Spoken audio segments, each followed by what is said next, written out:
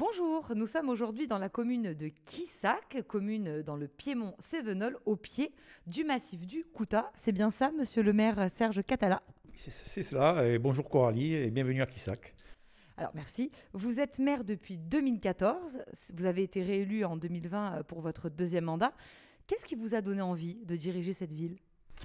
Alors, ce qui m'a donné envie, déjà, c'est que j'avais eu une petite expérience de deux mandats dans 4 juin de 1995 à 2008. Euh, après, j'aime les risques, donc c'est peut-être pour ça, non, je rigole. Euh, puis non, j'avais envie de continuer à m'occuper de la commune, de la faire prospérer et, avancer. Alors la commune de Quissac, on m'a dit, quand euh, tu vas venir à Quissac, tu verras, il y a des truelles partout, des engins partout, il y a des travaux, c'est le grand boom des projets. On peut parler d'abord de, votre EHPAD, mais plus de manière générale, comment vous faites pour financer tout ça et faire autant de projets? Alors, ben, notre credo politique, euh, notre philosophie, ça a été justement de maîtriser euh, tout ce qui est euh, budget fonctionnement, de, façon à, pouvoir investir, puisque tout ce qui est qu'on dégage en excédent de fonctionnement, ben, on le retrouve en capacité d'investissement. Alors, tous les projets, vous ne les financez pas à 100% parce que je crois que votre budget d'investissement annuel est de 1,5 million d'euros. Parmi le premier projet, on peut parler de l'EHPAD, donc qui est financé par le département et l'ARS. Alors, oui, alors l'EHPAD. Mais d'abord, je voudrais juste faire une mise au point en ce qui concerne l'investissement. C'est aléatoire, ça peut varier d'une année sur l'autre, hein, voilà, en fonction des projets. Euh, ça peut monter à 2 millions, 2 millions et demi. L'EHPAD, donc l'EHPAD, euh, il a une capacité de 54 lits, un terrain qui a été euh, cédé gracieusement au conseil d'administration de la maison de retraite. Que vous avez cédé Oui, cédé gracieusement, c'est ça. avec une unité, un secteur dédié au, à Alzheimer et une, un accueil de jour également. Donc ce serait un plus pour le territoire, avoir un nouvel équipement public. Et il y en aurait pour un an et demi de travaux C'est ça, donc c'est bien sûr euh, amener des équipements publics, accompagner euh, l'installation d'équipements publics et un, an et demi de travaux à peu près, oui.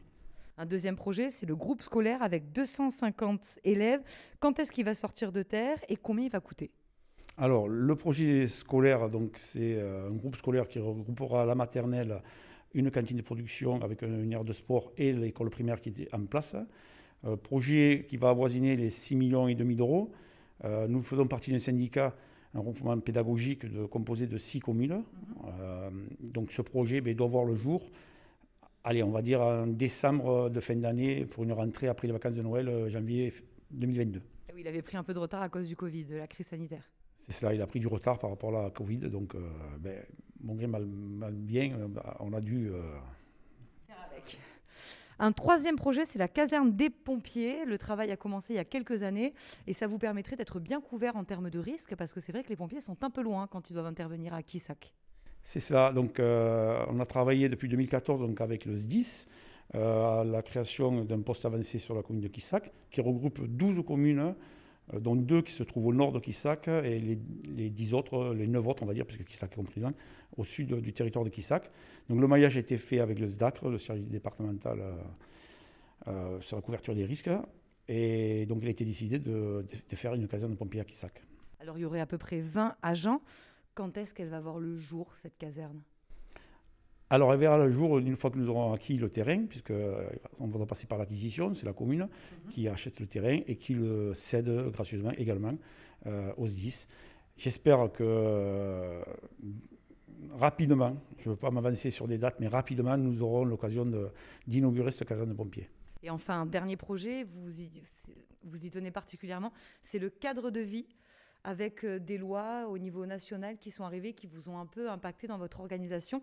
Qu'est-ce que vous voulez nous dire en tant que maire euh, de Quissac? Alors, en tant que maire de Quissac, j'essaie de préserver disons, cette qualité de vie euh, que nous avons, même si nous subissons une forte démographie annuelle.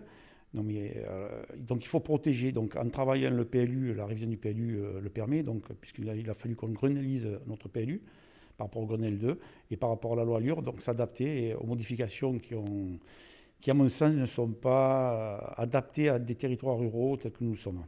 C'est-à-dire, qu'est-ce que la loi Allure, notamment, fait qui, impacte euh, le territoire? Alors, tout à l'heure, vous m'avez dit il n'y a plus de surface minimale pour pouvoir construire. Euh, le cost de 30% n'est plus. Ça veut dire qu'en fait, on va densifier ces territoires ruraux, on va pouvoir plus construire et un peu partout?